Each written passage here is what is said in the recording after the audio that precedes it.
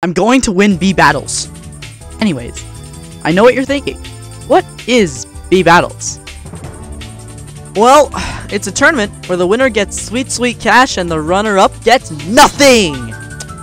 Think of Bee battles like, like bingo, almost. Like each each competitor is given a fresh count by the host, which is NuggetBlox. Then we compete against each other to see who can win bingo first. So, uh, like in each round, Nugget assigns us challenges to complete, and also gives us a tiny twist. For example, we might need to kill 31 Rhino Beetles as a challenge and then our super scary curse is like not being allowed to use any items or needing to kill a mob before we convert it to hive. All of these things, you know, allow put together for a very interesting and fun tournament which will anyways.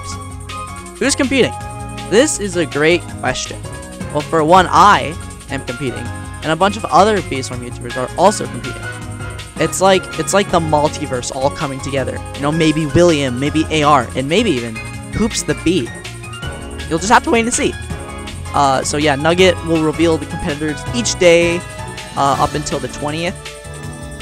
And then you'll get a trailer on the 21st. And then after that, a new episode every single week for you guys to watch. Until eventually, uh, yeah, there's to be three rounds. And then eventually, uh, I'm to be, I mean, someone is going to be crowned victor. Also, subscribe!